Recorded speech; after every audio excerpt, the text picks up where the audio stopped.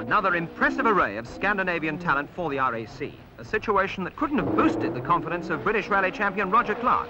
But he nonetheless gave the large crowd something to cheer about at Harewood as he set the fastest time on the stage.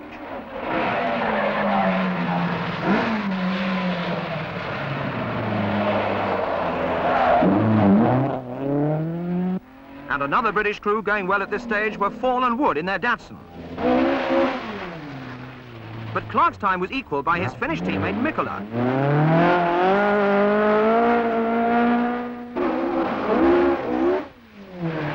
Another of the flying Finns, Monte winner Timo Mäkinen, was only a couple of seconds behind, and somehow the writing seemed to be on the wall for the British drivers once again.